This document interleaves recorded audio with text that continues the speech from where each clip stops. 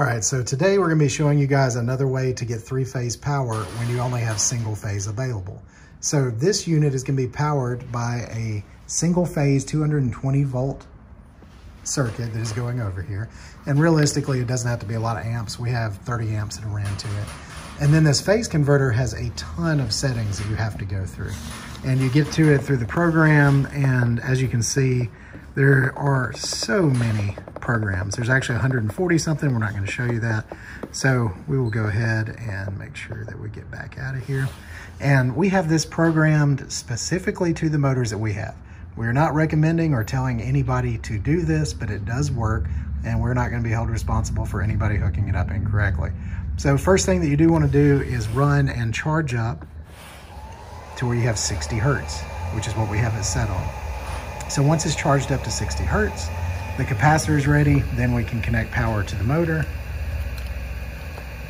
And then once the power is connected, then we have pickle control. So we have a motor hanging from a motor. But just to show you here, I'm gonna be pressing up and you will see the chain going up into it. So we'll let this run for a while just to show you that the capacitor doesn't discharge and it will hold the maximum amount of the weight of this motor.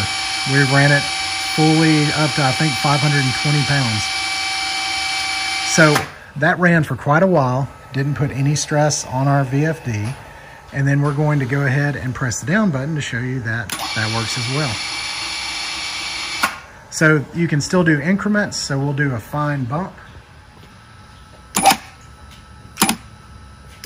And you can see we are still doing increments or you can go wide open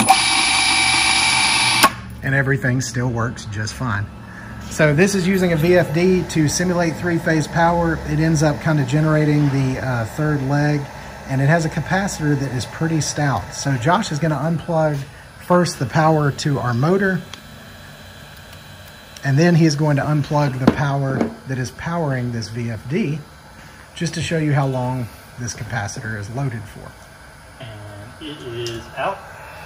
And we are still powered and there's gonna be quite a countdown because this capacitor holds the charge for quite a while. So definitely not something that you want to have open that people can touch, but very good when you're having to demo how a motor works or you don't have access to three-phase power. So that was a good 10 to 15 seconds of being powered after the power was off. So what we typically end up doing is we disconnect the power for the motor, which would be those two. We turn it off, that way it can scroll down its hertz, and then we end up turning everything off. But we just wanted to show you how much was going on with the power draw. So if you have any questions, just give us a call. It's 256-275-4734. And if you want to buy any pro audio, video, or lighting gear, just uh, hit like and subscribe and have a great day.